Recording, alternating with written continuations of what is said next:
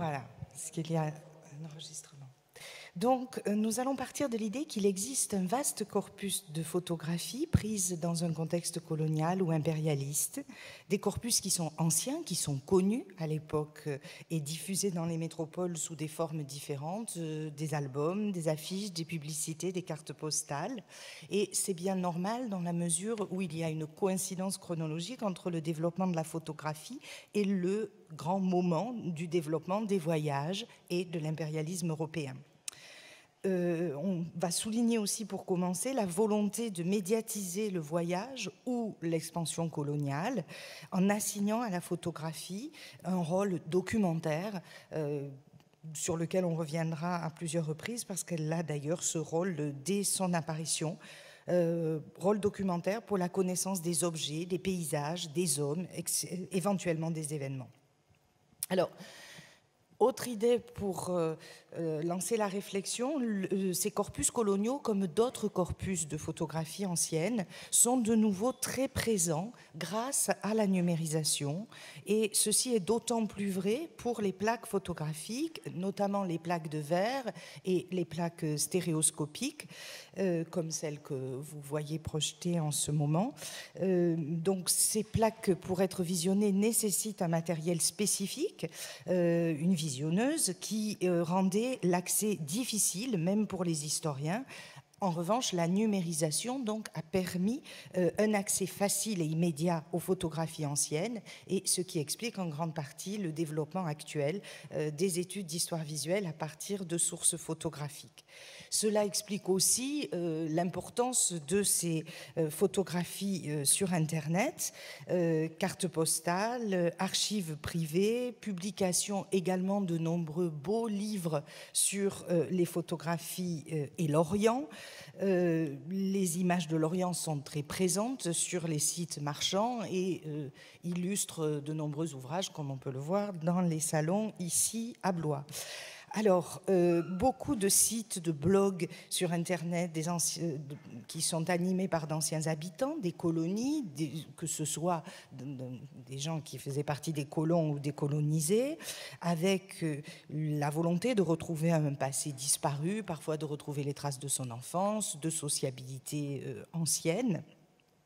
Euh, reste que lorsque l'on regarde cette documentation avec un œil euh, d'historienne, nous sommes tenus d'avoir quelques précautions méthodologiques et pour cela nous renvoyons notamment à l'article fondateur d'Ilsen Abou et Clément Chéroux dans le numéro 10 d'études photographiques, euh, avec un article L'histoire par la photographie qui traite précisément de la méthodologie de la source photographique et qui alerte les historiens sur les risques liés à la numérisation, notamment la perte de référence perte de référence lorsqu'on numérise seulement le recto d'une image et pas son verso. Là, nous verrons avec les plaques photographiques que l'image seule, sans avoir d'indication liée à la boîte, par exemple, euh, peut conduire à euh, une, une perte d'information évitant éventuellement des mésusages qui ne sont pas propres au fond relatifs à la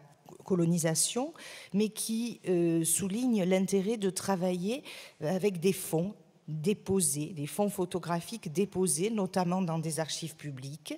Et ainsi, les photographies peuvent être constituées en source, hein, c'est-à-dire qu'il peut y avoir un parcours euh, du document dans l'archive qui peut être reconstitué pour identifier le fond d'origine, le contexte de production, le parcours du document jusqu'à l'historien et toute une série d'informations annexes à l'image, euh, des euh, légendes, des dates éventuellement.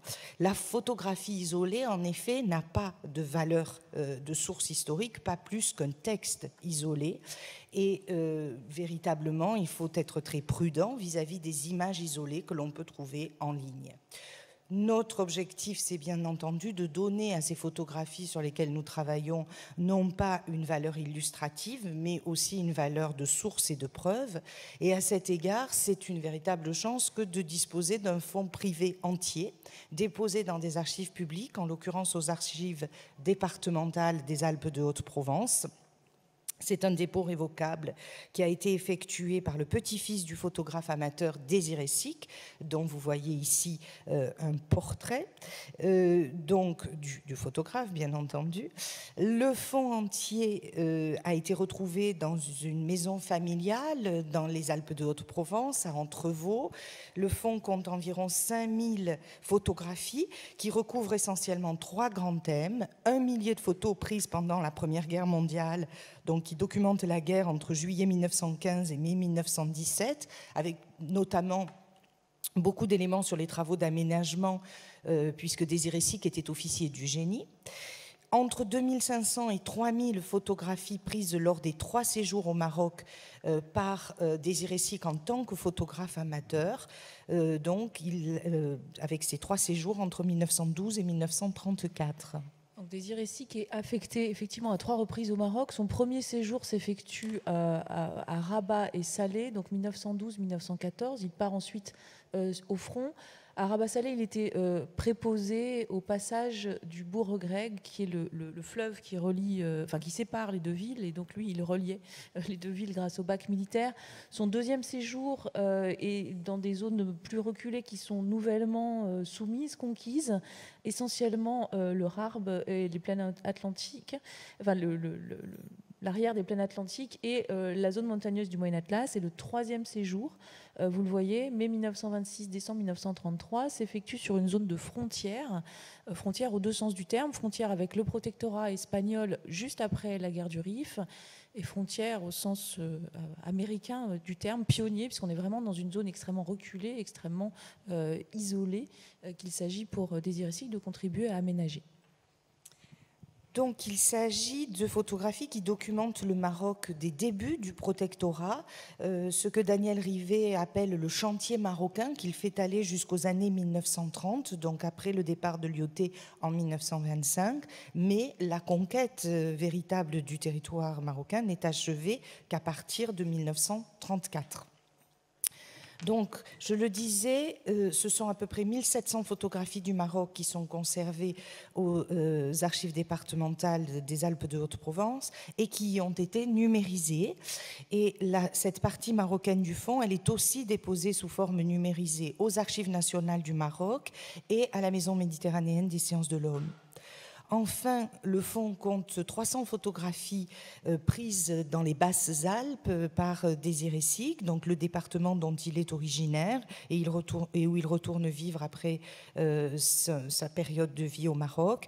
Donc des photographies prises dans les années 1930 après son retour en France ou ponctuellement lors de ses visites en France dans les années 20 et 30.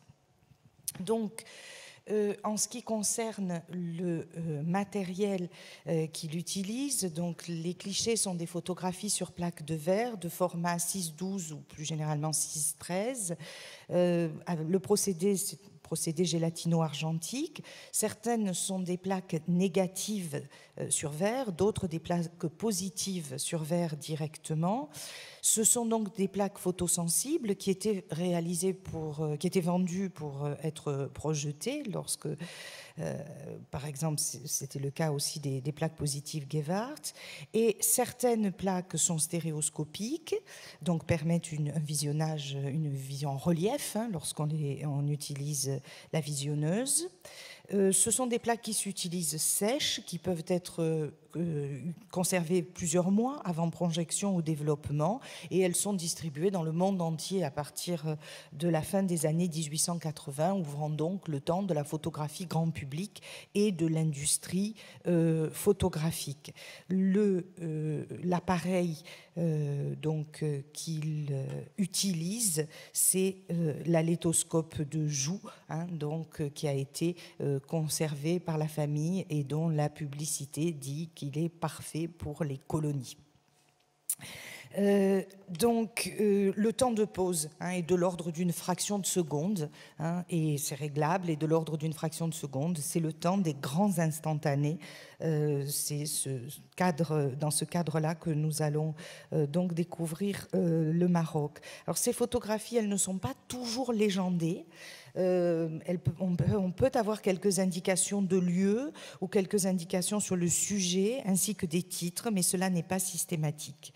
Le fonds photographique est complété par divers documents détenus encore par le propriétaire du fonds, qui ne les a pas donc versés aux archives départementales, quelques papiers administratifs, des journaux de marche et agenda auxquels nous n'avons pas eu entièrement accès, mais les euh, échantillons que l'on a pu consulter montrent qu'il n'y a pas euh, d'indexation systématique des vues prises. Euh, donc ce fonds, pour nous, il est encore en partie en friche et le travail est loin d'être euh, achevé. Il s'agit néanmoins d'un matériau tout à fait exceptionnel par la quantité et la qualité des photographies et par les thématiques qu'il aborde. Le fonds marocain est bien un regard porté sur le Maroc au moment de la mise en place du protectorat et illustre un certain nombre d'aspects de la situation coloniale. Alors, juste un mot sur, ce terme. Dans le cadre des ateliers pédagogiques, c'est les programmes hein, du secondaire sur la colonisation invitent euh, à, traiter du thème de la colonisation sous l'angle des sociétés coloniales et à les analyser, je cite, hein, dans la lignée de la situation coloniale décrite par l'anthropologue Georges Ballandier en 1951. Alors cette notion de situation coloniale, elle est devenue euh, très familière aujourd'hui. Euh, elle est réapparue dans les années 1990 dans l'historiographie au moment du renouveau des études coloniales. Hein. Euh, elle a été notamment exhumée par les historiens américains Frederick Cooper et Anne Stoller qui donc ont voulu réfléchir, hein, renouveler les réflexions sur l'objet colonial en, deçà, évidemment en allant au-delà du, récit de l'histoire coloniale traditionnelle et euh, en voulant aussi aller au-delà des, euh, euh, des théorisations des post-colonial studies. Donc il publie en 1997 Tension of Empire et dans lequel ils annoncent leur programme de recherche en s'appuyant sur le texte de Ballandier, en disant qu'il faut analyser, hein, je vous ai souligné, que métropole et colonie, colonisateurs et colonisés doivent être nécessairement pensés ensemble, que cette démarche n'est pas nouvelle, puisqu'il cite Ballandier et il reformule la définition de l'anthropologue Ballandier en disant la situation coloniale devait être comprise en tant que telle, comme une construction culturelle et politique d'un moment particulier, avec tous ceux y participant comme acteurs de l'histoire. Donc d'autres études historiques hein, illustrent ce, renouveau d'études coloniales. Daniel Rivet, euh, historien euh, du Maroc euh, que Laurence a cité, précise justement qu'il va étudier dans, son ouvrage fondateur Lyoté l'institution du protectorat français au Maroc, ce qui constitue, je cite, l'essence de la situation coloniale, lui aussi utilise ce terme, qui est, je cite encore, une trame de relations de réaction, d'opposition qui se tisse entre colons et indigènes. Donc ce concept de situation coloniale, pourquoi est-ce qu'il est utilisé? Parce qu'il euh, invite aussi, entre autres, à traiter de la question de l'altérité, de la pluralité des regards pour comprendre le phénomène colonial. Et dans ces conditions, il semble particulièrement intéressant de réfléchir à l'usage pédagogique que l'on peut faire des sources photographiques et des photographies amateurs. Nous sommes donc face à des sources privées dont l'usage et la diffusion restent cantonné à cette sphère privée. Hein. Elles n'ont pas été diffusées en dehors des cercles familiaux et amicaux de Désiré Comment est-ce qu'on regarde ces photos? Quelle valeur on leur attribue? Est-ce qu'elles ont une valeur documentaire, une valeur affective? Il y a des photos de famille dans le fond, ce n'est pas notre objet aujourd'hui, mais elles sont présentes. Est-ce qu'elles ont une valeur illustrative? Alors évidemment, d'emblée, hein, nous vous invitons à prendre de la distance avec la supposée véracité de la photographie. Euh, la photographie, en particulier la photographie amateur, n'est pas davantage vraie que les autres sources hein, pour rendre compte d'une réalité et en particulier pour traiter de la question de l'altérité. Que faire en effet de celui que l'on ne voit la plupart du temps pas sur l'image, mais qui en est un des acteurs principaux, c'est-à-dire le photographe?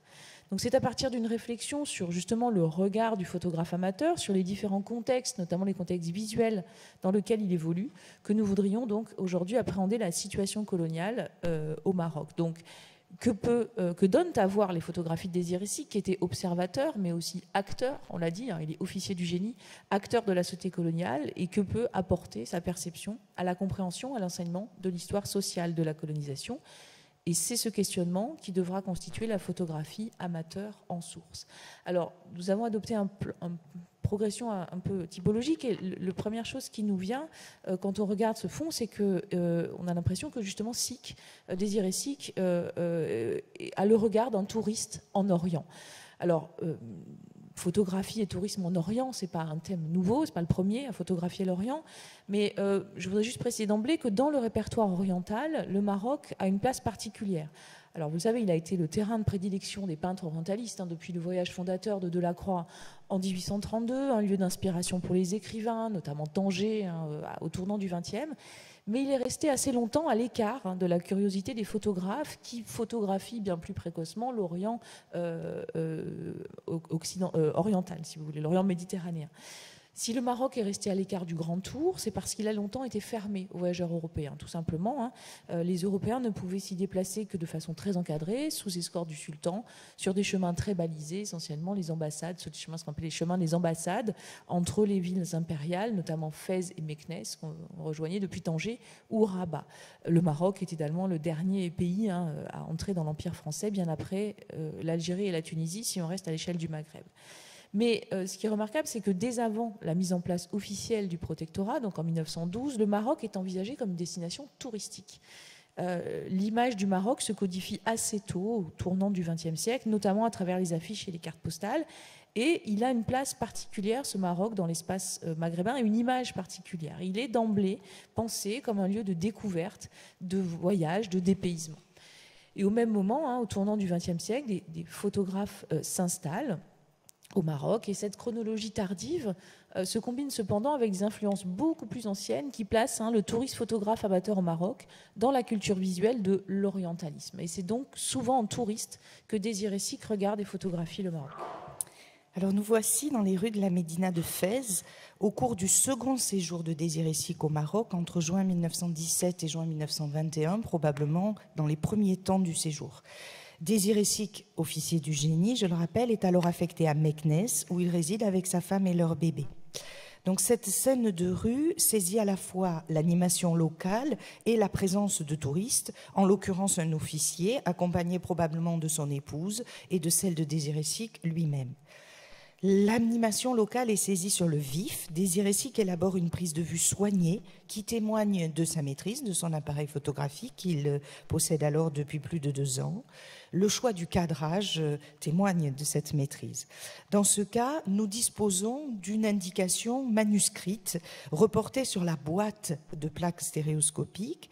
Le sujet de la prise de vue est vieille horloge comme on peut le voir.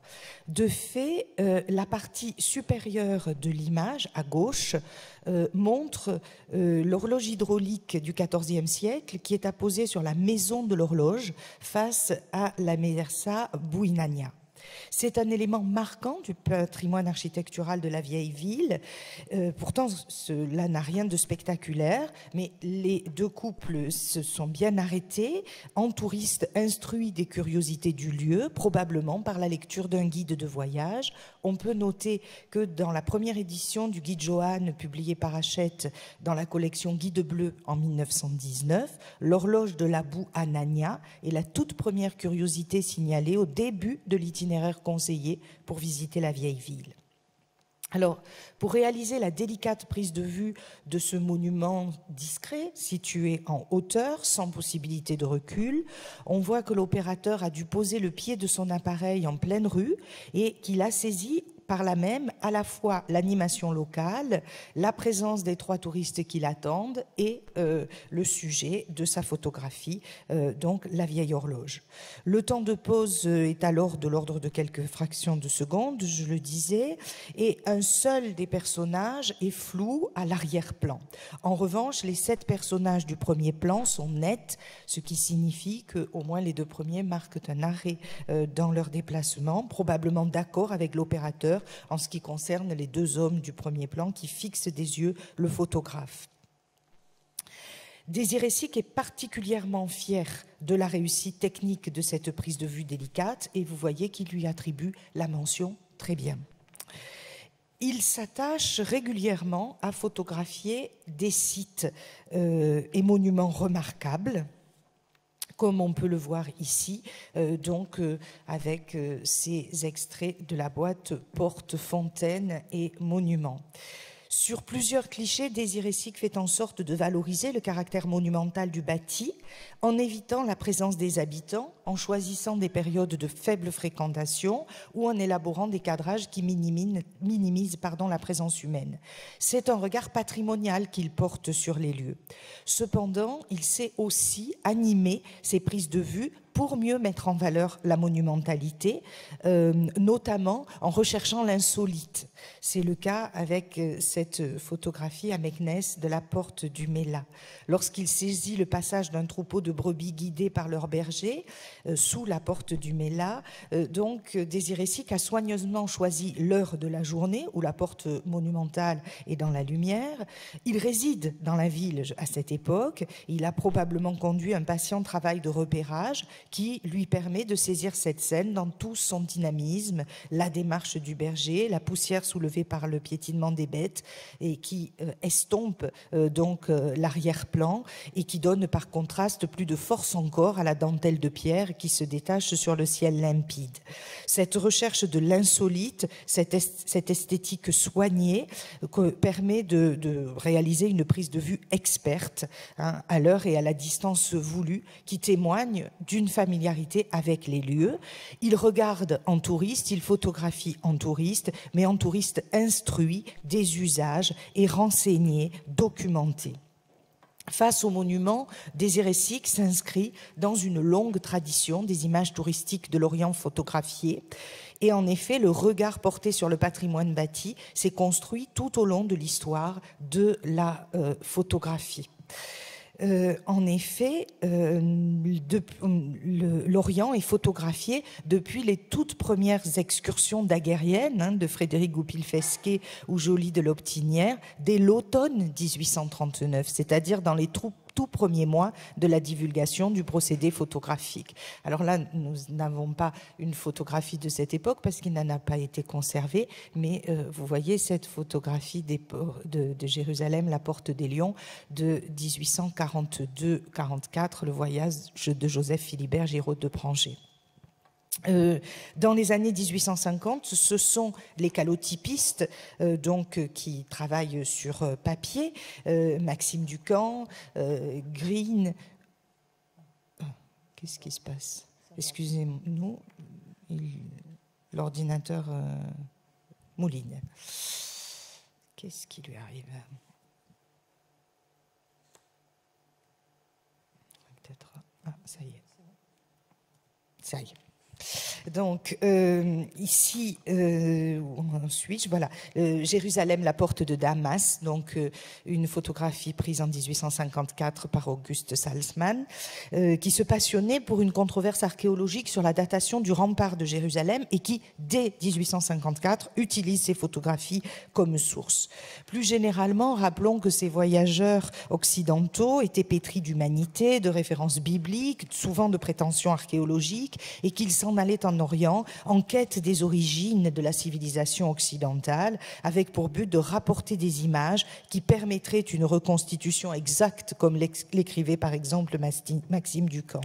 Ce programme, il a été assigné à la photographie dès 1839, dès l'institutionnalisation et la divulgation du procédé hein, euh, par euh, François Arago, qui, en justifiant la loi par laquelle donc la France donne au monde le procédé photographique, euh, François Arago légitime euh, la photographie en euh, lui assignant une mission donc patrimoniale tournée vers le passé, hein, notamment vers la conservation des monuments d'Égypte. Euh, ce n'est pas à une découverte du présent euh, des terres d'Orient que François Arago invite les photographes, mais bien à une démarche patrimoniale tournée vers le passé. Et dès son origine, la photographie se place ainsi dans la continuité de l'expédition d'Égypte de Bonaparte, de la vaste entreprise d'appropriation collective qu'a été la description de l'Égypte, achevée dix ans avant l'invention de la photographie. Aussi, les sujets photographiés sont longtemps ceux qui avaient eu les honneurs de la gravure ou de l'aquarelle, les monuments du passé tenant une place tout à fait euh, spécifique. Et les photographes, à leur tour, lorsqu'ils interviennent, euh, contribuent à cette attitude textuelle des artistes et des savants vis-à-vis -vis de l'Orient, telle qu'elle a été décrite par Édouard Saïd. À cet égard, il y a dans un, article, il y a un article fort intéressant dans la livraison de textes et documents pour la classe qui nous a été donné en arrivant ici à Blois et qui peut être une référence très intéressante. Alors, par sa capacité à figer le présent, la photographie s'est naturellement coulée dans ce programme orientaliste euh, et dans les années 1860, ce sont des photographes professionnels qui alors proposent leurs services aux voyageurs occidentaux et euh, lesquels constituent des albums luxueux, de luxueux albums de voyage, en achetant des tirages originaux les photographes arméniens jouent un rôle décisif dans le développement de cette production locale. Euh, vous voyez là euh, des euh, photographies produites par Gabriel Lekeguian, enfin le studio de Gabriel Lekeguian, actif au Caire entre 1860 et 1890. Donc dans, dans les années 1860, ce sont des tirages originaux qui sont vendus et à partir de 1890, certains sont donc diffusés par la voie de cartes postales euh, donc de photographies. Alors, euh, quelques exemples de vues proposées aux touristes par les studios révèlent la force des thèmes qui font recette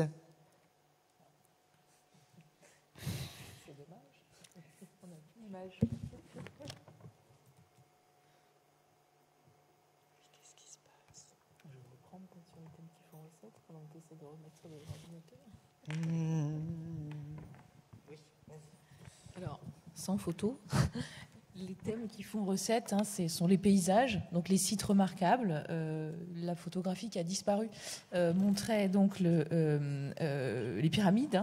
Hein. les photographes composent ici les stéréotypes du paysage oriental et, également donc les paysages, les vestiges. Ah, il n'y a pas de courant. Ah, bah oui, forcément, ça n'aide pas les vestiges, les ruines romaines ou égyptiennes, les mosquées, fontaines, euh, les ruelles, etc. Et les scènes de rue, euh, les scènes de rue que l'on nomme scènes et types, euh, donc un vocabulaire qui sera repris, hein, qui, aura, qui fera florès hein, jusqu'au début, même jusqu'au milieu du XXe siècle. Donc ces thèmes, donc les paysages, les vestiges, les scènes de rue, ce vocabulaire, scènes et types, hein, sont bien présents dans le corpus réalisé par Désiré Sic à partir de 1912. Ce qui nous a frappé, c'est que ce sont des images d'amateurs, ce sont les images d'un amateur, mais elles n'en sont pas moins très codifiées, c'est-à-dire qu'elles s'inscrivent dans ce répertoire orientaliste. Ça va revenir. Excusez-nous, euh, on avait branché l'ordinateur à une prise qui n'était pas reliée au réseau. Donc ça va revenir. Théoriquement.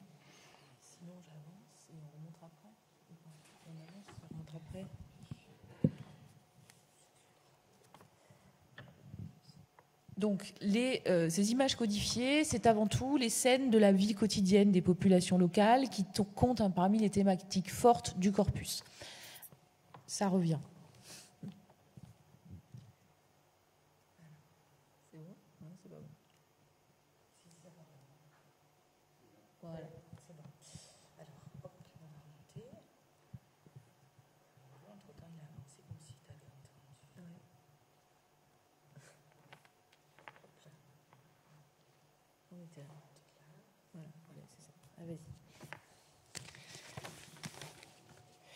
Euh, oui. Euh, donc, euh, c'est par exemple le cas d'une boîte intitulée Scène et type, comme vous pouvez le voir. Et vous voyez la photographie d'un ventouseur, donc au travail hein, avec l'un de ses clients, et qui s'inscrit dans une série de portraits qui documentent ainsi les métiers de rue. Donc, nous avons le barbier ici représentés. Je, vais vous montrer un certain nombre d'images sans m'arrêter toujours pour les commenter, puisqu'on a une approche typologique pour vous donner une idée euh, donc de ces séries. Euh, ici, euh, le coiffeur. Hein, donc qui documente ces petits métiers. La vie quotidienne et notamment la vie des, des, rues est également documentée. Ici, porteuse de bois, Ici, une scène de rue avec une femme et enfant.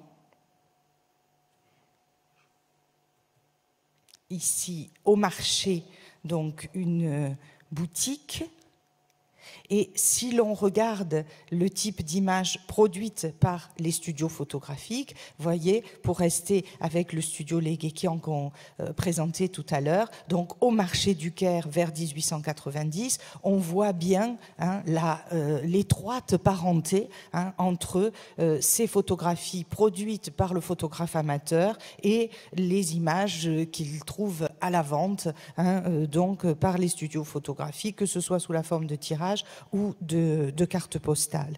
Euh, cette typologie, donc, elle, inscrit les hommes et les femmes qui pratiquent des activités manuelles ou du, du petit commerce dans une tradition immuable. Et autre thème important, le dénuement, euh, le spectacle de la misère urbaine qui figure euh, dans cette typologie euh, orientaliste que Désiré Sic illustre à son tour. Donc ici, une vue sous la neige hein, pendant ses séjours dans les montagnes. ici, nous revenons vers des images de studio avec une référence au studio Abdullah, puisque c'est, j'évoquais ces photographes arméniens Hein, qui sont vraiment à l'origine du développement des studios photographiques euh, en Orient, donc des, photographies de mendiants hein, euh, qui euh, sont là encore un des thèmes récurrents, et des irésiques à son tour, hein, donc photographie dans la boîte Sénétype, quatre mendiants à Meknes, par exemple. Dans plusieurs cas, Désiré Sic est proche de ces sujets et bien que stéréotypée, la scène est sensible. C'est perceptible déjà dans cette image-ci, mais lorsque l'on regarde la série euh, dont on va vous montrer deux exemples qui représentent des bergers euh, proches de leurs bêtes et avec systématiquement euh, le petit. Hein, euh, donc ici l'agneau, donc le berger avec la brebis et l'agneau. Ici le berger avec la chèvre et son chevreau. Et on voit bien dans ces deux photographies les regards de connivence entre le berger et le photographe. Hein. Il y a un lien, incontestablement, euh, qui donne un caractère sensible à cette, à cette scène. Euh, cependant, donc, on peut souligner ces influences orientalistes qui nourrissent la culture visuelle de Désiré qui guident incontestablement son regard et dont les vecteurs ont probablement été les studios photographiques. Euh, citons notamment deux opérateurs qui interviennent au Maroc quelques années avant l'arrivée de Désiré Sic et dont les prises de vue irriguent la production visuelle du Maroc. Le premier de ces photographes qui est beaucoup plus connu, enfin qui est assez connu, c'est Gabriel Vert. Il est connu parce qu'il est opérateur lumière. Il s'installe au Maroc euh, et il devient entre 1901 et 1907 le photographe et cinéaste attitré du sultan Moulay Abdelaziz, à qui il enseigne la photo et dont il partage une part de l'intimité. Il écrit un, livre, pas en 1095, en 1905, euh, Gabriel Vert dans l'intimité du sultan, euh, qui correspond là aussi à des scènes types. Il y a beaucoup de scènes d'intérieur euh, euh, qui euh, participe aussi à cette vision orientaliste.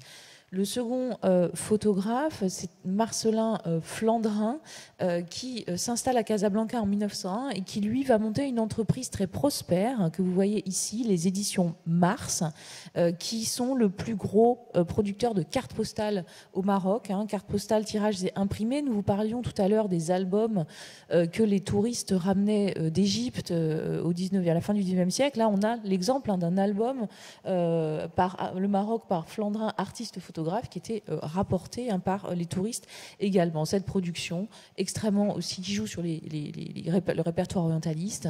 Euh, dans les souks hein, de Marrakech vers 1920, travaille sur la lumière, qui est quelque chose aussi, ce type de scène est présent aussi sur les, peintures orientalistes de cette époque-là. Et puis Warzazat, un clair de lune sur la Casbah, l'image très travaillée, espèce de romantisme.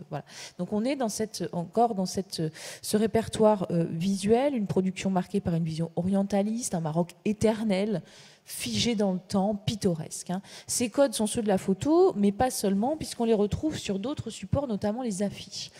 cette affiche de 1909, hein, éditée par la Compagnie Générale Transatlantique, pour la première illustration du circuit touristique qui était proposé. Donc les circuits d'Atlas, je disais, c'était avant l'instauration du protectorat. On est ici en 1909 qui renvoie euh, complètement à cette image euh, construite sur le Maroc. Elle met en scène, elle est facilement lisible, hein, le choc de deux civilisations.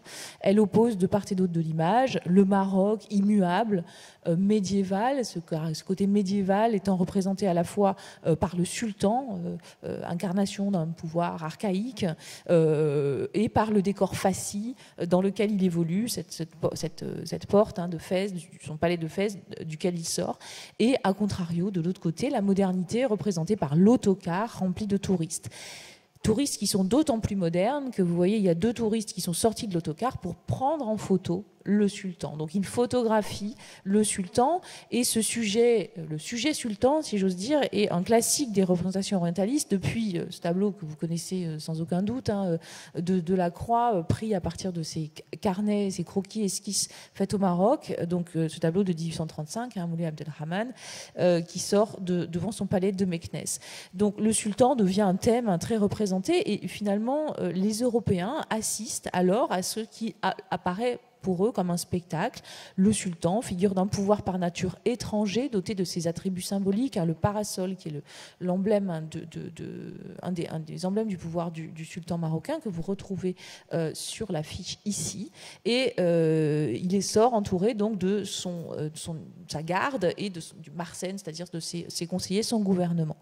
Désiré Sic, pardon, n'échappe pas à la règle. Il photographie les fêtes du Nouvel An à Meknes, vraisemblablement aux alentours de 1920. Nous avons la série complète de cet événement, mais j'ai choisi, nous avons choisi deux photographies. Euh, la fête du Nouvel An à Meknes est un moment de fête religieuse, mais aussi populaire. Euh, vous voyez ici sur cette photo euh, un petit peu en contrebas des femmes qui sont en hauteur. Vous avez des espèces d'installations qui sont des balançoires, euh, enfin des manèges balançoires pour les enfants, donc des attractions. Euh, une vision qui est celle d'un touriste ordinaire. Hein. les personnages, aucun de personnages ne pose, la plupart sont vus de dos, ils vaquent à leurs occupations. Et euh, la, la photographie a à la fois une dimension ethnographique et surtout une forte dimension esthétique, hein, vu la qualité de, de la esthétique de la photo, sa lumière et sa composition. Toujours à Meknes, eh bien, on retrouve le sultan, cette fois qui rentre dans son palais, son palais de Lagdal, son palais de Fès, construit par euh, euh, Moulay Ismail euh, au XVIIIe siècle. et on retrouve les emblèmes du sultan. Et vous voyez que les touristes les Européens sont présents, ils ont, ils ont des petits bancs, on a mis des petits bancs pour qu'ils puissent voir eux aussi ce spectacle en arrière-plan, enfin en arrière des Marocains. Donc, euh, pour conclure sur ce premier moment, hein, le, le, FONSIC offre aux spectateurs des scènes et types attendus dans un corpus d'images de l'Orient. Hein. il s'inscrit dans un répertoire orientaliste et dont on peut euh, souligner la remarquable diffusion. Désiré Sic n'est pas un érudit. Il est né à Entrevaux, hein, donc euh, département des Basales, département rural. C'est un homme de la campagne méditerranéenne. Il a une formation d'ébéniste. Il exercera ce métier en 1902 à Marseille, l'année suivante en Algérie, à Mustapha en 1903. Nous ne savons absolument rien sur ce séjour, sur ce premier séjour, ce premier contact avec le Maghreb. Ce séjour n'a pas été documenté par des clichés photographiques. Et si qu'ensuite hein, devient militaire. Donc il n'est pas un érudit euh, et on peut supposer qu'il avait simplement, entre guillemets, la culture générale de l'homme de son temps, lecteur de journaux, et immergé dans cette culture impériale largement diffusée en métropole, mais aussi dans le protectorat. Alors, si on revient au corpus, c'est surtout dans les premières années de ses séjours au Maroc que Sick témoigne de cette imprégnation orientaliste. C'est lorsqu'il est encore peu familier du Maroc qu'il le représente, le Maroc, le plus au prisme de l'exotique, de l'exotisme. Pardon. 1912, euh, Salé, hein, costumé en chef de l'Oued avec le Raïs Abdallah et Bendris. Euh, on y voit Désiré Sic, hein, à gauche hein, de l'image, euh, euh, déguisé, posant avec ses compagnons de travail. Il porte le costume du chef de la corporation des barcassiers du Bourg-et-Grec, hein, les barcassiers étant ceux qui euh, euh, transportaient les marchandises et les marchandises d'une part et d'autre euh, du fleuve, le, turban, le costume qui est violet, hein, richement décoré, le sabre, la besace. et on assiste ici, hein, sur cette photographie, à un changement des rôles, même si Désiré garde sa position hiérarchique. Il s'agit sans aucun doute d'un moment festif. Il y a des bouteilles euh, au-dessus, sur l'étagère. Ils ont l'air un peu, quand on zoome sur la photographie, un peu éméchés, euh, qui peut expliquer le travestissement, mais pas seulement. Hein. Ça, euh, c'est vraiment ce, caractère exotique, ce goût du déguisement, d'une approche extérieure et, vraiment marquante des, des années 1912-1914. En revanche, lorsqu'il fait des séjours plus prolongés, il y a un changement de regard et un enrichissement de son répertoire photographique. Le, euh, euh, le euh, fond si on le regarde en plan rapproché, nous offre un certain nombre d'instantanés de la colonisation.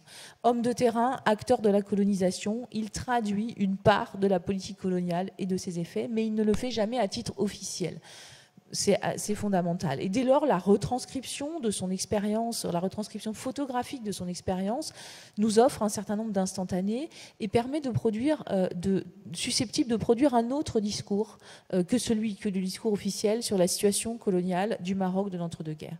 La gestion des populations, par exemple. Le traité de Fès hein, de, mars 1912 impose à la monarchie chérifienne un régime de protectorat reposant, vous le savez, hein, sur la mise en place d'une administration indirecte qui fonctionne selon une coopération entre les Français et les Marocains. Dans les zones militaires, c'est-à-dire qui sont placées sous l'autorité directe du résident général, ce sont essentiellement les zones rurales nouvellement ou partiellement soumises, dont celle où est affecté euh, Désiré L'interlocuteur du pouvoir français, vous le voyez ici, c'est l'officier des AI, capitaine des AI, AI voulant dire euh, service, euh, pardon, affaires indigènes, le service d'affaires indigènes qui est créé en 1926. Que faisaient ces officiers Ils contrôlaient, ils administraient les populations et ils participaient aussi à ce qu'on appelait la mise en valeur, à l'aménagement de ces euh, régions. Donc il était indispensable pour ces officiers de communiquer avec les populations locales. Ils étaient souvent euh, arabisants et ou berbérisants, euh, et ils avaient une bonne connaissance des, sociétés locales.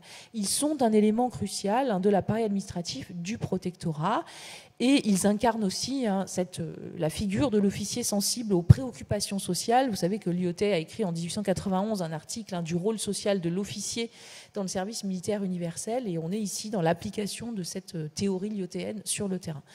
Donc cette photographie représente sans doute le capitaine Bertrand, capitaine des affaires indigènes, et cette scène, elle est à première vue une scène de partage entre cet officier et des personnages de la société locale. Hein. Il y a un enfant entre le capitaine et le personnage de droite qui sourit.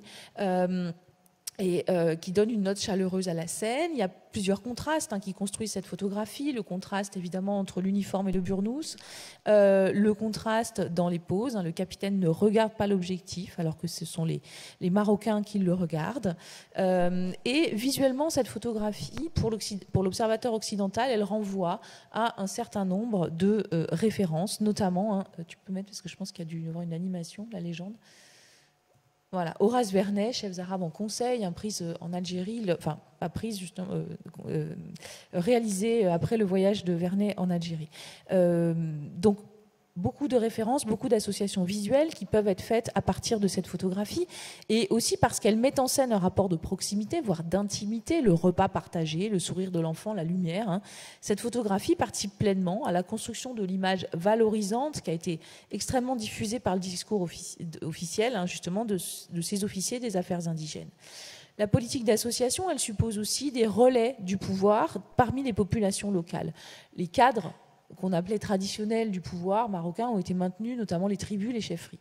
Et euh, c'est ainsi le caïd, hein, le, chef indigène, qui gouverne au nom du sultan dans les pays soumis. C'est une figure qui est souvent mise en avant par les Français. Euh, il apparaît comme un élément d'ordre naturel, entre guillemets. Il est leur interlocuteur dans la société locale. Alors, les photographies, de, les motifs hein, du chef locaux, des chefs locaux ne sont pas originaux dans les fonds euh, des photographies militaires. Hein. mais je voudrais juste commenter deux secondes cette photographie. Elle est évidemment euh, très posée, mais elle est aussi construite. La composition de la photographie met en valeur le caïd, présenté au premier plan à droite. Il, est, euh, il pose fièrement sur son cheval, la scène est richement décorée, hein. il a vraiment tous les attributs euh, du pouvoir locaux. Et la société marocaine sur laquelle il a un pouvoir est visible sur l'image, à gauche, en arrière-plan et les personnages qui la composent semblent se tenir en retrait. Et on peut supposer que le photographe a attendu leur présence euh, pour euh, euh, prendre la photo. Donc cette composition traduit la position hiérarchique du caïd, elle montre hein, également le, les, hommes sur qui s'exerce son pouvoir et l'espace sur lequel s'exerce ce pouvoir par la perspective. Donc la composition et les plans de cette photographie sont très signifiants. Euh, ces caïds, hein, ce sont un maillon essentiel du contrôle et du pouvoir des territoires soumis, et Désiré Sic documente très souvent leur présence. Et Sic, il effectue une sorte de reportage sur la vie militaire et la vie officielle euh, des postes où il est affecté. Et comme ça, on a une série de reportages euh, qui traduisent les moments politiques importants locaux. Alors l'originalité de ces photographies, c'est qu'on a des séries. Euh, effectivement, si on ne prend euh, que cette photographie, elle est extrêmement posée. Donc, nous sommes euh, dans le, nord, enfin le, le hein, autour de, de hein, en 1924, les Français ont construit un pont pour faciliter le passage de, de l'Oued hein, qui se faisait par le bac. Alors, euh, le premier pont s'est effondré sous le poids des véhicules, euh, donc on reconstruit un pont et évidemment, euh, inauguration du pont. Et vous voyez, cette, photo, elle est immédiatement lisible. Hein, différents acteurs, des caïds au premier plan, des militaires, des civils, des ingénieurs sans doute, mais aussi des enfants qui sont attirés par l'événement et qui sont sans doute curieux de poser eux-mêmes pour le photographe. Les chefs marocains sont trop premier plan. Il y a deux voitures, qui est signe de la résistance du pont. Il y en a deux de voitures, ça ne s'écroule pas cette fois-ci. Et puis, euh, le signe de modernité, euh, la voiture. Et puis, le fait que la zone est désormais accessible hein, euh, en automobile. Donc là, on a vraiment l'impression que les Marocains sont témoins de cette supériorité française en termes de technique et de mise en valeur, entre guillemets. Donc c'est une photo très classique hein, qui sert la politique du protectorat. Mais SIC n'est pas photographe officiel. Donc il nous montre que le pont s'est effectivement effondré. Donc là, c'est plutôt un raté euh, de cette mise en valeur. Et il nous montre la scène précédente euh, euh, la, la, pause officielle. Et ce qu'on voit, c'est l'arrivée, l'installation des personnages et la préparation de la photo. On met en place le décor. La voiture est en train d'être apportée de l'autre côté de la rive. Il y a beaucoup plus de personnages présents sur cette photographie, là, des coulisses, que sur la photographie officielle. Donc il y a une sélection. On voit vraiment, euh, s'il fallait le confirmer, bien sûr, mais la mise en scène de cette photographie. Donc les photographies témoignent hein, de la présence de ce qu'on peut appeler les figures de la médiation, qui sont indispensables à la politique d'association souhaitée par le discours officiel. Ces photographies témoignent aussi du rapport de domination euh, qui existe hein, sur les populations euh, euh, marocaines. Donc, dans le corpus, ce sont les photographies que Désiré Sic a prises au bled. Hein, c'est lui qui inscrit bled sur les boîtes photographiques. Euh, SIC est officier du génie et il dirige, dans le cadre de ses fonctions, des effectifs importants de travailleurs sur les chantiers. Ces équipes, elles sont composées de militaires français, de militaires marocains, mais aussi de civils, que SIC désigne dans ses carnets sous le terme de mes travailleurs indigènes ou les travailleurs civils, et qui sont réquisitionnés. Hein, la plupart du temps, il est question dans les carnets de la durée de la réquisition. Alors, ils portent peu d'attention à ces travailleurs ici. Hein. Euh, euh, ils sont souvent vus de loin, de dos, et le sujet principal de cette photographie, c'est le chantier. C'est pas du tout les hommes qui euh, travaillent au chantier. Donc, cette photographie n'est pas posée, elle est prise sur le vif. On a l'impression d'une armée hein, de, travailleurs marocains, leurs outils. Le terrain du Rif, hein, escarpé, difficile. Les, ouvriers sont équipés et habillés de façon rudimentaire. La plupart sont pieds nus et ils travaillent sous l'œil d'un contremaître français que vous voyez sur la, gauche de l'image. Cette photo, on peut la rapprocher d'une autre photographie qui se trouve dans la même série, mais qui là nous montre les travaux finis. Cette fois-ci, c'est une photo posée qui met en scène évidemment cette réalisation de cette fontaine, alors même que les travaux de terrassement sont encore en cours. Deux groupes bien séparés, à gauche les Français, quatre, quatre hommes, pardon, dont deux assis qui posent fièrement pour le photographe. Euh, ils ont une bouteille de champagne, ou enfin quelque chose d'alcoolisé en tout cas, qui est posée sur, une, sur une, un tissu qui fait office de nappe. On a l'impression d'une scène de pique-nique. Et euh, à droite, 11 travailleurs marocains, dont trois partiellement cachés, alignés, qui posent eux aussi, mais pas du tout de la même façon. Euh, ils ne regardent pas l'objectif, ils ont des regards gênés, voire peut-être, je surinterprète, mais je ne suis pas sûre, voire hostiles. Ils sont beaucoup mieux habillés que les travailleurs de la photo précédente. Ils tous semblent chaussés. Est-ce que ce sont les contremaîtres ou est-ce que euh, ce sont euh, euh, des ouvriers qui se sont changés, si vous voulez. Donc on a les éléments du décor, la ligne de fuite qui permet évidemment au regard de se porter sur l'intérêt, c'est-à-dire la fontaine, hein, qui traduit cette idéologie de, de la mise en valeur, entre guillemets, portée par le protectorat, mais aussi les rapports de domination induits dans ce projet. Donc, Donc, si, donc en documentant sa vie d'officier euh, sur le terrain, SIC euh, montre un certain visage de euh, la colonisation. Alors évidemment, les photos ne disent pas tout. Il y a des angles morts, des silences. Qu'en est-il de la résistance des populations Tout ce genre de choses qui sont très difficiles à saisir pour l'historien de la colonisation. Mais en tout cas, ce qui nous paraît intéressant, c'est qu'en documentant sa vie d'officier sur le terrain, il montre un visage de la colonisation éloigné des discours officiels. Il propose, sinon un contre-discours, il propose au moins un autre discours. Le Maroc est encore en guerre. Hein. Euh, alors, SIC n'a pas participé au combat, il est, euh, il est officier du génie, mais il montre euh, les chars, il montre les postes avancés, il montre l'équipement militaire. Donc, ce sont des photographies classiques dans les corpus des militaires, mais il documente hein, de façon permanente. Vous voyez pas très bien ici, mais la photo, le panorama de droite, d'en bas, pardon, le groupe capitaine de Corta, vous voyez beaucoup de, soldats marocains hein, derrière les, les cavaliers français. Il documente la présence permanente des forces armées pour mener ce que Daniel Rivet appelle une guerre de 30 ans et dont il rappelle qu'elle a fait plus de 100 000 morts hein, du côté marocain. Euh, il montre aussi, Désiré que la mise en valeur laborieuse. Là, ben, il y a des routes, mais pour passer sur la route, il faut enlever les cailloux et euh, soi-même. Euh, il montre hein, donc plus prosaïquement le caractère heurté de la mise en valeur. Je vous ai mis la, phrase de, Rivet hein, Port, chemin de fer, ville moderne sont les emblèmes les plus voyants de la civilisation et également la volonté de la nation protectrice de s'ancrer sur place durablement. Mais évidemment, c'est un processus long, c'est un processus laborieux. Le génie fait une tournée, mais il est rapidement en panne d'auto, il est embourbé, euh, le pont s'effondre, le premier bac de 1913 coule, là, euh, on ne sait pas trop pourquoi, euh, mais Désiré Sic montre aussi hein, donc ce bac effondré noyé. Euh, et les voitures euh, euh, sans sable sur la plage de Salé. elles sont donc obligées de se faire désensabler par des Marocains qui poussent la voiture, tandis que les Français sont à l'intérieur. Alors cette voiture, elle est particulière. Elle est, si on regarde attentivement, elle a un numéro sur le devant de la voiture, du capot, et nous pensons qu'il s'agit ici de la photographie de la première course automobile organisée au Maroc qui reliait Rabat à Casablanca. Donc on est ici Hein, euh, euh, dans effectivement la course automobile euh, et qui participe à la conquête d'espaces vierges, l'appropriation de l'espace colonial par la pratique sportive et touristique. Je n'insiste pas, mais je souligne quand même que la colonisation agit bien sûr sur les espaces. Elle contribue à transformer ces espaces dans leur forme et leur fonction, et elle agit aussi sur les hommes et leurs activités. il y a eu au Maroc une modernisation des infrastructures, une, une révolution des transports qui nulle part ne s'est faite aussi vite que ce soit en Europe ou en pays euh, d'islam. Euh, il y a d'ailleurs une lutte entre les deux sociétés. Euh, l'arrivée des automobiles a ruiné une grande part de l'économie marocaine qui s'était relevée d'un certain nombre de crises du 19e, notamment par les échanges, toutes les activités des portefaix, des chameliers, etc., qui qui sont directement concurrencés. Mais euh, cette société, elle résiste. Euh, il y a, pardon, j'ai coupé, c'est Daniel Rivet encore qui a écrit cette phrase. Hein.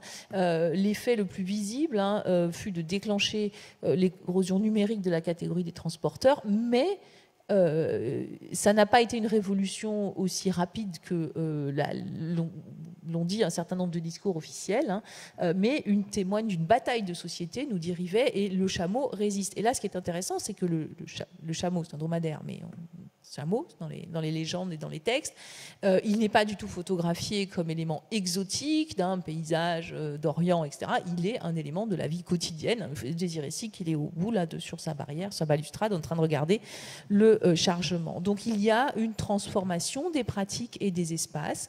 Et euh, ce qui nous semble intéressant, c'est que le fond permet d'avoir un témoignage sur les changements les moins visibles euh, des euh, les plus quotidiens. Exemple, la plage investie par une pratique européenne, une pratique de loisir et une pratique sportive, alors même hein, qu'elle n'est pas du tout un espace investi par les Européens le loisir, la pratique sportive, qui sont des moments privilégiés de la visite des populations européennes, mais on peut voir ici que les populations marocaines sont associées parfois.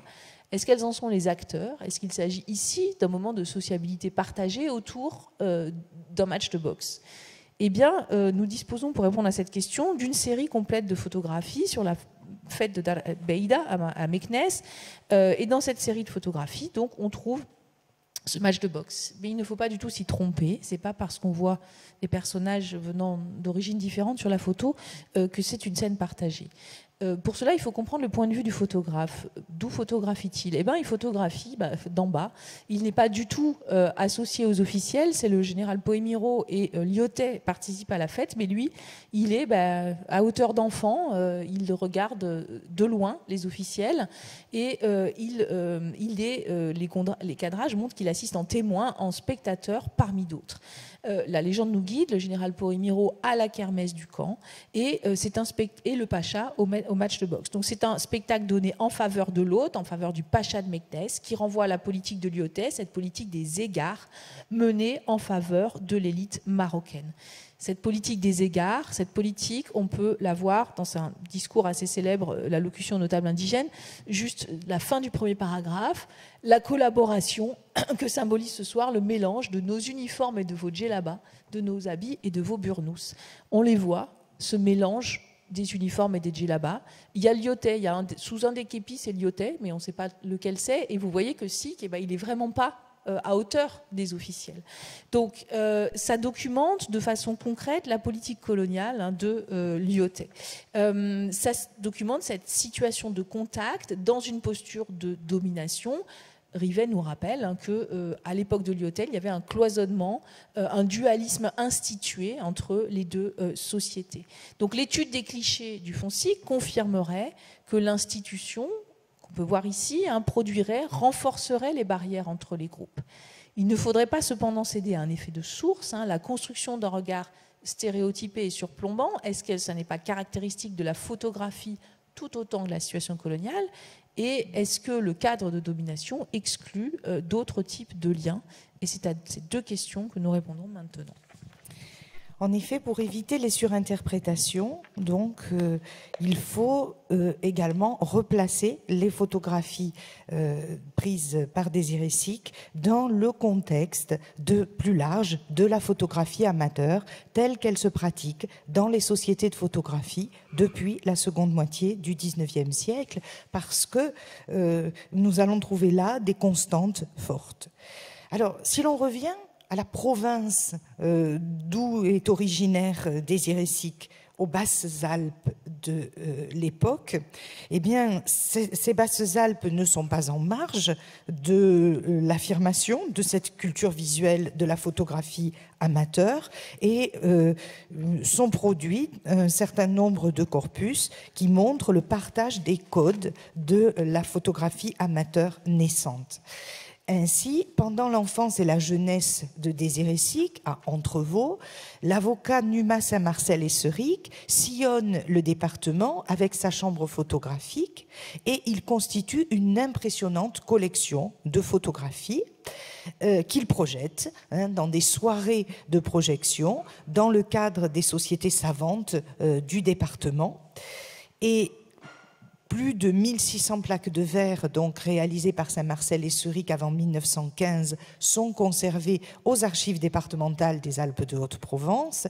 Et on y trouve plusieurs portraits de travailleurs manuels, de villageois, qui relèvent de portraits types hein, et qui euh, illustrent ces petits métiers ces figures populaires. Hein, donc nous voyons ici euh, des euh, photographies euh, donc prises non loin d'entre vous assisteront hein, et qui rappellent ces, portraits types. Nous ne savons rien de la formation à la photographie qui a été celle de Désiré Sic. Cependant, ce que nous savons, c'est que la pratique photographique est un loisir sérieux dans les années 1900-1910. Et celui-ci s'apprend et s'exerce le plus souvent dans le cadre de sociétés formelles, notamment les sociétés de photographie ou d'autres sociétés savantes.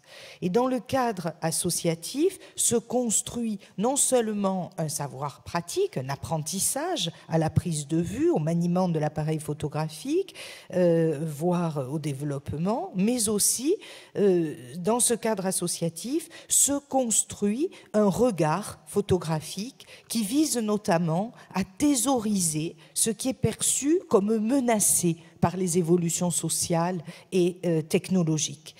et la documentation par les photographes amateurs des métiers manuels des villes, des modes de vie populaires, de la misère sociale, cela n'est en rien réservé à l'orientalisme.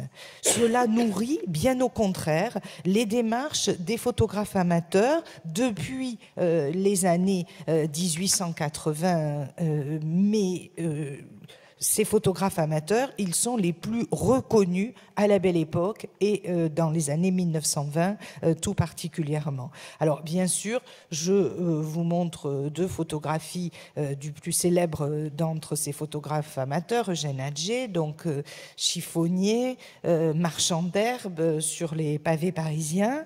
On pourrait citer également Louis Vert. Hein.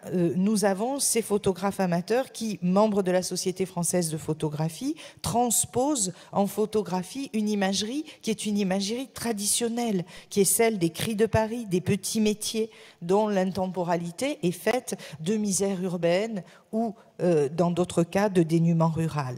Et euh, nous voyons bien ce même type de regard, ce même type d'intérêt porté par Désiré Sig lors euh, de ses retours du Maroc à Entrevaux. Hein, lorsque ainsi il revient en Haute-Provence, il saisit certains de ses concitoyens comme des figures ancestrales de la vie rurale, aux gestes immémoriaux, à l'habitat précaire. Et là, nous voyons une grande parenté avec le corpus marocain.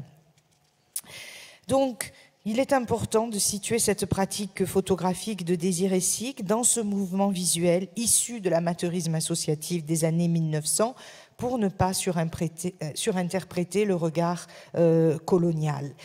Et euh, l'énumération des thèmes précédemment évoqués recouvre des motifs communs prisés par les amateurs qui pratiquent donc la photographie au sein de ces sociétés de photographie, mais aussi d'excursionnistes. Documenter les diverses formes de l'habitat rural, les scènes de la vie quotidienne des artisans, des paysans, des, des pasteurs, c'est loin d'être réservé à l'exotisme colonial du bled. Et la pratique même de l'excursion photographique est intéressante. Ici, une photographie réalisée par Désiré Sic au Maroc, donc l'Oued d'Ifran, mais euh, cette photographie, elle trouverait parfaitement sa place, ainsi que beaucoup d'autres du corpus, dans les projections photographiques organisées en Provence par les sociétés euh, d'amateurs et d'excursionnistes, où le thème de l'eau est très présent, ce qui est également vrai dans le foncique, à la fois dans sa version marocaine et dans son volet basalpin.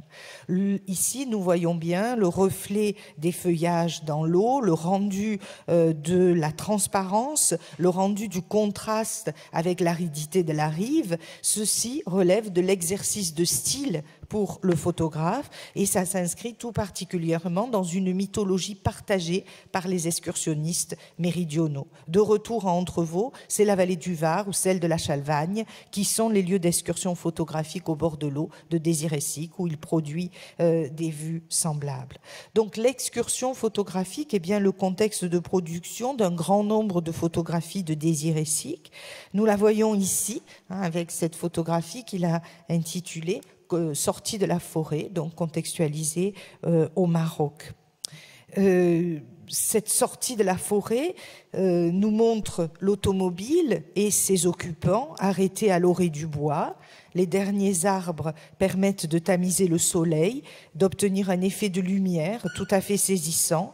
C'est donc la sensation visuelle forte ressentie lors du passage du sous-bois à la pleine lumière qui déclenche l'intention de la prise de vue. L'observateur a pris du recul, hein, il a quitté la voiture, euh, il a un peu monté pour se placer en légère plongée dans l'ombre afin de saisir les trois occupants de l'automobile et leur escorte à cheval, parfaitement au centre de ce paysage caractéristique baigné dans la lumière. Cette mise en scène de soi en excursionniste, c'est quelque chose que l'on retrouve aussi dans le corpus basalpin. Donc, Désiré Sic au Maroc comme en Provence, agit aussi en photographe amateur urbain, confronté à des paysages euh, naturels, confronté à des ruraux, confronté à des travailleurs manuels, dont il se distingue par sa capacité même à produire une imagerie. Certes, Désiré n'est pas issu lui-même d'un milieu urbain, ou du moins pas de la grande ville, mais il adopte les pratiques et les codes de l'excursionnisme urbain, produisant donc à la fois la distance qui favorise la perception, la prise de vue, et l'altérité, et la proximité de son regard sensible, et aussi de sa propre origine méditerranéenne. Alors, pour terminer, avant la... Ah, bah Il est nécessaire de, revenir sur cette notion de situation coloniale en tant qu'elle est révélatrice d'un monde du contact. Cette expression de monde du contact, c'est celle euh, qu'emploient Emmanuel Blanchard et Sylvie Thénault dans leur article éponyme euh, du mouvement social euh, de 2011 où Emmanuel Blanchard et Sylvie Thénault appellent à faire une histoire sociale de l'Algérie pendant la période coloniale. Donc justement, ce monde du contact, comment le saisir? Euh, C'est un des aspects les plus difficiles à saisir pour l'historien du, colonial. Est-ce que la photographie peut nous aider? A priori, non, dans la mesure où elle ne dit rien des intentions ni des sentiments, que ce soit ceux de l'individu photographié ni de l'individu photographiant. Elle est souvent compliquée à étudier, qu'elle est très souvent stéréotypée, comme nous l'avons vu que le fait d'appartenir à un corpus colonial guide d'emblée le regard et l'analyse, hein, surtout euh, après un certain nombre de, travaux, notamment des postcolonial studies. Donc, elle mérite donc, euh, euh, autant que faire se peut, d'être croisée avec d'autres sources pour éviter la surinterprétation. Je reviens sur le Bourg-Greg avec Désiré Sic et le Raïs Abdallah, qu'on a vu tout à l'heure ce sont les photos classiques hein, d'un militaire, de son officier, sous-officier et de son ordonnance. Il y a un contraste entre les costumes euh, et euh, l'uniforme, euh, le, costume du barcassier et les poses aussi, hein, assis, debout, en, retrait, il ne regarde pas du même côté, etc. Donc, euh, Raïs Abdallah, il est très nettement ici euh, euh, l'ordonnance au service de l'officier. mais malgré ce rapport hiérarchique hein, qui se voit dans ces photographies, il existe une réelle proximité des deux hommes, nous le savons par d'autres sources. La situation de domination, elle n'exclut pas d'autres types de rapports, elle n'est pas exclusive. Hein. Lorsque Désiré Sic part sur le front, le, il, entretient une correspondance avec le Raïs Abdallah. Euh, Abdallah euh, aide la femme de Désiré Sig, Fernande, pendant qu'elle est seule, hein, que son mari est au front. Euh, il y a un certain nombre de, témoignages dans la correspondance qui, le montrent. Hein. donc c'est une trame de relations, de réactions, d'oppositions qui sont complexes à saisir et qu'il faut faire attention justement à essayer de saisir dans toute leur complexité. Donc en conclusion, nous sommes loin évidemment d'avoir fait le tour de ce corpus, mais il montre une proximité entre euh, et le Maroc, euh, un espace que SIC investit d'une dimension aussi affective et familiale forte. Le cadre colonial, il est déterminant par les sujets choisis, il documente C'est aussi ce cadre colonial qui lui donne un accès aux différentes formes du pouvoir et qui explique l'importance des euh, acteurs du pouvoir dans les photographies. Euh, c'est son positionnement militaire qui lui confère aussi une vision hiérarchique. Il contribue probablement euh, aussi à la mise à distance, euh, euh, à des postures calquées sur le discours officiel. Mais il est essentiel de garder à l'esprit que cette notion de situation coloniale, elle invite à penser la complexité inhérente au phénomène impérial, qui n'est pas réductible à un dualisme et un simple rapport dominant-dominé. Donc il ne faudrait pas là hein, céder à un effet de source en analysant le corpus, comme on l'a vu, la photographie amateur représente l'altérité sociale dans un cadre surplombant qui tend à mettre en avant des permanences, la longue durée de part et d'autre de la Méditerranée. Et il se trouve qu'effectivement, cette tendance renforce et réactive certains des codes de l'orientalisme. Donc les images que SIC donne à voir des groupes sociaux, et notamment de la société rurale marocaine, s'inscrivent dans des hiérarchies plus larges que la seule dimension coloniale et euh, font écho à un rapport déséquilibré entre urbains et ruraux qui commande les corpus de photographes amateurs des années 1910-1920. Merci beaucoup.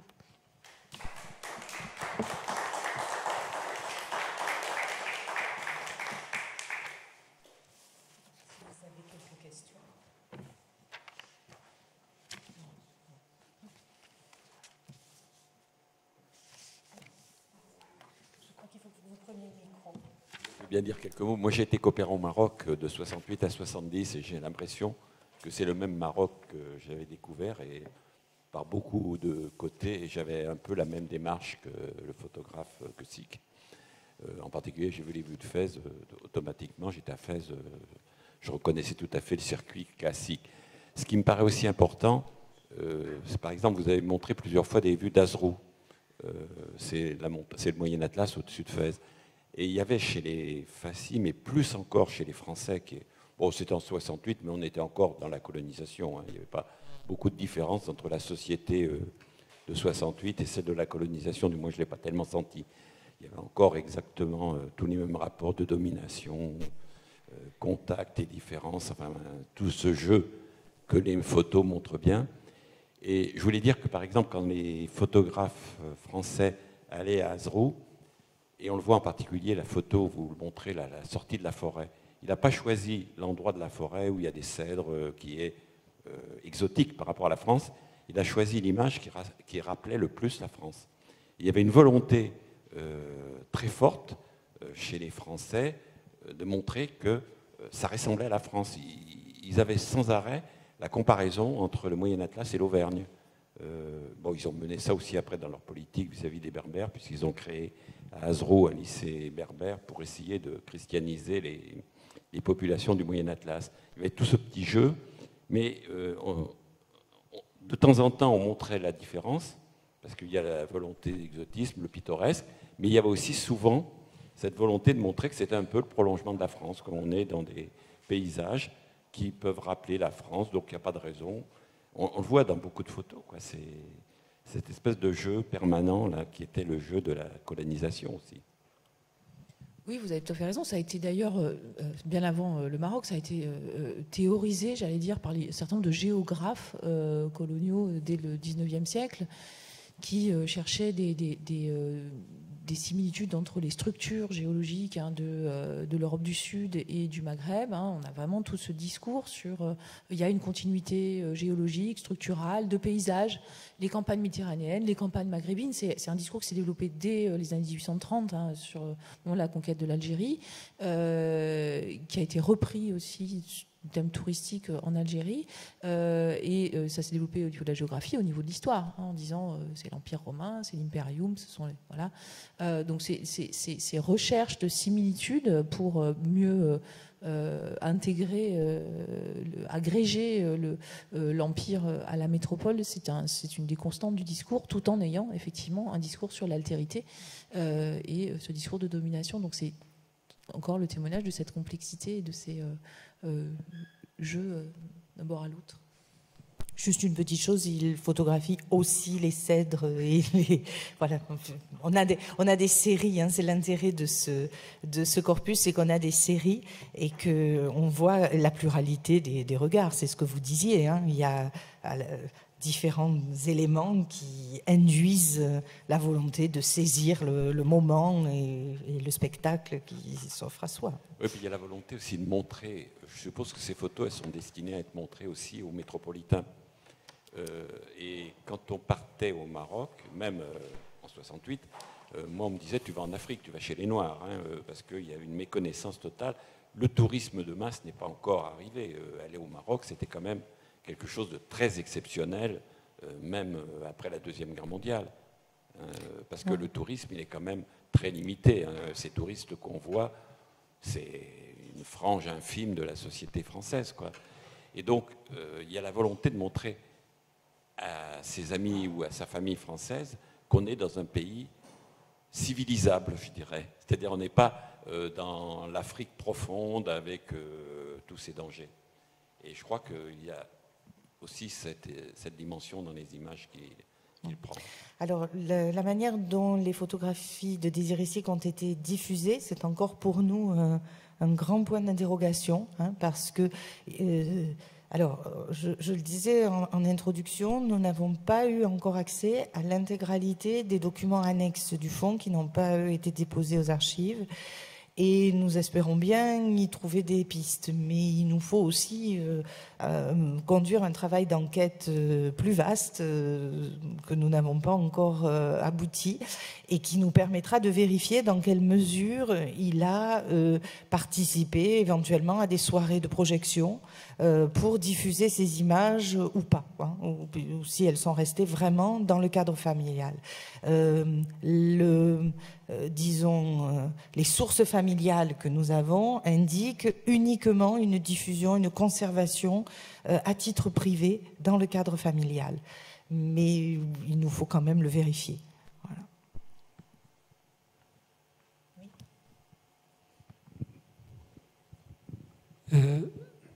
Bonjour.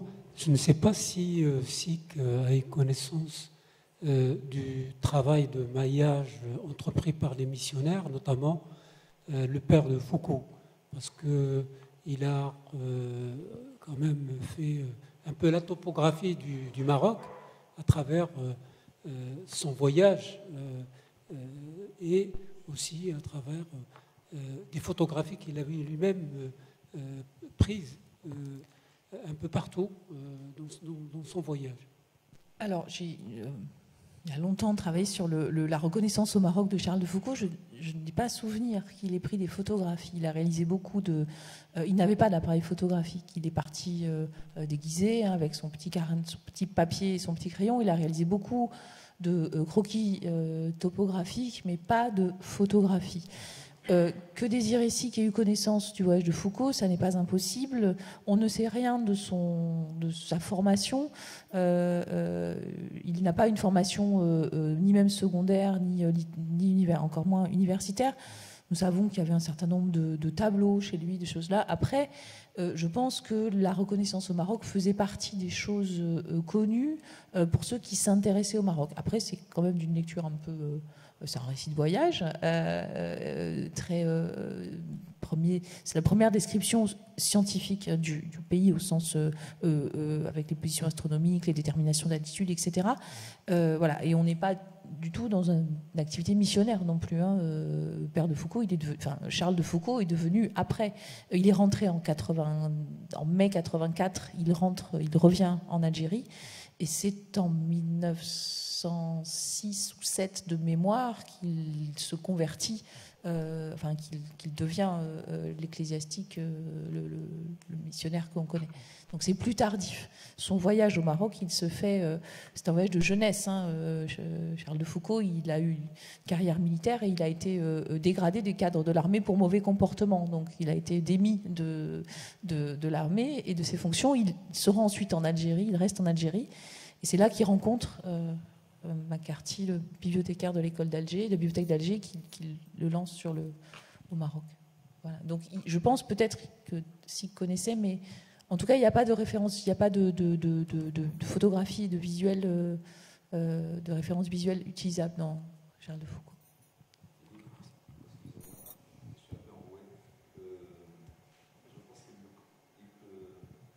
Il y a vu l'œuvre gigantesque des frères Tarot, les écrivains, n'est-ce pas Académiciens. Donc je pense qu'il y, a beaucoup de descriptions chez les tarots.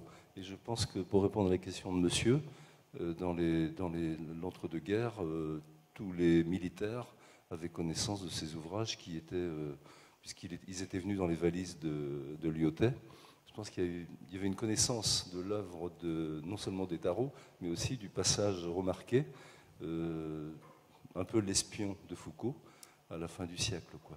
il n'y avait pas de photo. Il n'y a pas de photo. Euh, alors, l'espion Foucault, j'ai alors beaucoup épluché les archives, d'autres l'ont fait. Il n'y a aucune preuve qu'il a. Il n'y en aura pas. Qu'il était espion. Effectivement, dans la mesure où il a ramené des informations d'ordre géographique et d'ordre ethnologique, de fait, ça a pu servir à l'armée, mais il n'était pas il s'est fait, il était en dehors des cadres, il était rayé des cadres de l'armée. Hein, donc il n'y a pas de, voilà, euh, euh, ça a pu servir comme d'autres récits de voyage, comme ceux de Gentil, comme ceux de Segonzac, comme ceux des Allemands même. On a utilisé hein, l'armée française a utilisé pour faire les cartes les récits des Allemands, euh, y compris en 1872, 73, 1880. Donc évidemment, c'est une littérature qui est connue. Les frères Tarot, il y en a beaucoup d'autres. Il y a Loti, voilà. Donc là, on n'a pas de, on peut, ce sont des, supputations. Après, on a quelques photographies des camps militaires. Euh. Mais il n'y a pas de présence de livres qu'on a pu identifier. Euh, voilà, ça c'est quelque chose qui nous reste à faire, mais de fait, il y a toute cette culture à la fois littéraire, visuelle, ce discours officiel euh, du protectorat, de l'IOT, dans lequel il baigne. On ne sait rien de ses opinions politiques. Je ne sais pas si vous avez remarqué, je sais pas si vous étiez arrivé, mais il y a une photo, la, photo de, de voilà, celle-ci il écrit Lyoté avec une faute d'orthographe. Général Lyoté. Donc, euh, et on ne sait pas où il est sur la photo. Alors quand même, Lyoté arrive, c'est un peu l'événement quand même, je pense. Donc voilà. Donc c'est ça qui est intéressant, c'est qu'il est acteur, observateur. Euh, on, je, ne sais pas s'il a connaissance de, de quelconque témoignage d'un avis politique, politique au sens large du terme, mais voilà. Il participe, il le documente, mais il montre aussi autre chose. Et c'est ça qui, à, à notre avis, intéresse.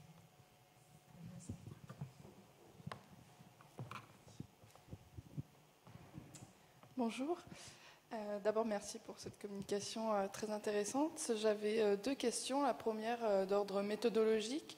Vous évoquiez au début de votre communication la place des images qui circulent notamment sur certains forums, sur Internet, et on a pu également voir passer à un moment une image qui n'était pas légendée du corpus de SIC. Je voulais savoir quelle, quelle place est-ce qu'il fallait renoncer à ces images qui ne portent pas de légende ou qui sont sur des forums sur Internet avec des légendes parfois euh, dont l'origine est difficilement identifiable ou, euh, dans quelle mesure pouvait-on euh, les utiliser Et pour ma deuxième question, qui n'a pas grand-chose à voir, ça a été dans le, corpus de SIC, vous avez évoqué donc cette, imprégnation orientaliste du regard. Est-ce qu'on note un traitement particulier de euh, de la femme euh, dans cette dimension orientaliste qui a été souvent aussi euh, très présente dans, dans ce type d'iconographie orientaliste. Bien sûr. Je commence et tu continues. Donc, sur la, question méthodologique, on est bien d'accord. dans les cas où nous n'avons pas du tout d'indication sur les boîtes, hein, puisque donc vous avez vu comment on peut avoir éventuellement des indications, c'est lorsque c'est mentionné sur les boîtes. Euh, le fait que les photographies s'inscrivent dans un corpus autorise l'utilisation, les interprétations. Mais en revanche, une euh, photographie isolée euh, serait absolument impossible à contextualiser. Et donc, pour le coup, euh, ça deviendrait véritablement scabreux que de, l'utiliser comme source. Hein. Mais voilà, l'intérêt, c'est de pouvoir travailler sur un fond dans, alors, dans l'intégralité on n'est pas sûr que l'intégralité des boîtes ait été sauvegardée, mais au moins dans une dimension suffisamment conséquente pour pouvoir avoir des séries hein, et avoir des, documents en série. Donc c'est vraiment parce qu'on a un corpus complet que l'on peut se permettre euh, de travailler, y compris sur des photographies qui ne sont pas légendées. Ensuite, pour ce qui est de la femme, bien sûr, euh, c'est un, thème euh, important euh, dans les, photographies de Désiré. Bon, on a enlevé une partie du diaporama que l'on avait consacré à cela parce que ça nous, ça, nous emmenait loin. mais alors, dans les scènes et types, hein, les, femmes sont extrêmement présentes, souvent les femmes à la rivière d'ailleurs. Euh, là encore, euh, on a souvent des scènes qui témoignent de cette proximité avec euh, son sujet. Hein. parfois, des scènes de femmes à la rivière, de lavandière. Alors, si on reprend par exemple la toute première, c'est la seule que l'on ait gardée où on voit des femmes, c'est celle de, des lavandières faites pas exactement des lavandières, mais des femmes qui lavent la laine euh, au Zoudaya à Rabat. Euh, vraiment, ça fait partie des toutes premières photos qu'il a prises en arrivant euh, au, Maroc. Et là, on voit bien qu'il est de loin, que les femmes sont de dos, qu'il est extérieur à son sujet. Hein. il est vraiment, il vient d'arriver au Maroc, il est vraiment dans une position d'observateur extérieur on voit évoluer véritablement son rapport à la société marocaine dans le, rapport euh, la manière dont il photographie les femmes, ou parfois dans ces femmes au bord de l'eau, ces femmes, euh, euh ces lavandières, on, a des images où il est complètement intégré euh, au groupe et où on voit qu'il est fondu, qu'il a gagné la confiance euh, tout à fait de, ces personnes. Donc, à cet égard, il a une attention, il est capable d'avoir une proximité. Le silence de ces photographies, c'est euh, ce sont les, les photographies à caractère érotique de cela, il n'y a pas du tout trace dans le corpus. Je rappelle que ce sont des photographies, euh, c'est un corpus familial hein, qui a une diffusion familiale. Donc ça ne nous permet absolument pas de savoir si à un moment ou à un autre il a pu prendre des photographies érotiques. Hein. Alors il y a des photographies euh, qui montrent des femmes dénudées, mais euh, qui documentent à ce moment-là la visite du médecin qui inspecte les prostituées qui sont là dans le camp. Hein. Donc euh, euh, là, on a des photographies qui sont assez crues hein, euh, et où il se place dans sa position hiérarchique. Ça fait partie de la mise en œuvre de, la, domination et du maintien de la politique sanitaire. là, ça, fait partie. Juste un mot ça documente les, femmes de sa famille et les femmes européennes qu'on voit nous sommes une société musulmane, les femmes urbaines, en milieu urbain, euh, sont généralement voilées, elles sont vues de dos. En revanche, dans le monde rural, les femmes sont visibles. Hein, euh, euh, et elles sont montrées, elles participent montrées comme telles. Et effectivement, on a plusieurs fois des, échanges visuels avec, avec les femmes. Temps de terminer. Merci beaucoup.